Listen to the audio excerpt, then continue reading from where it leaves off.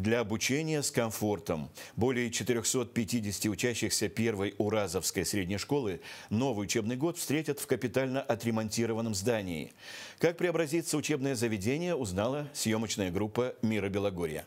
Значит, здесь сейчас будет пробиваться дверь, и у нас где-то еще около с 6 метров да, удлиняется столовая. Реконструкция столовой и классов, ремонт всех помещений и фасада учебного заведения, строительство пристройки для спортивного зала и благоустройство территории.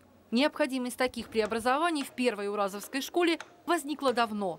Одно из ее зданий 1902 года постройки, другое построили в 80-х годах прошлого столетия.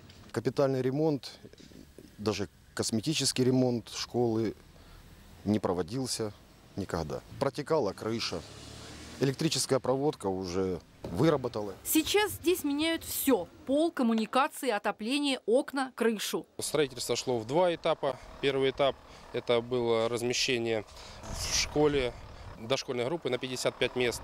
И второй этап – это был уже капитальный ремонт э, всей школы, который сейчас э, уже и заканчивается.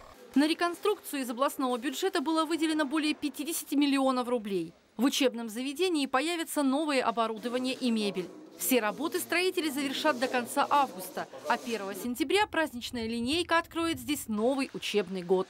Александр Кветка, Наталья Давыдова, Новости мира Белогорья.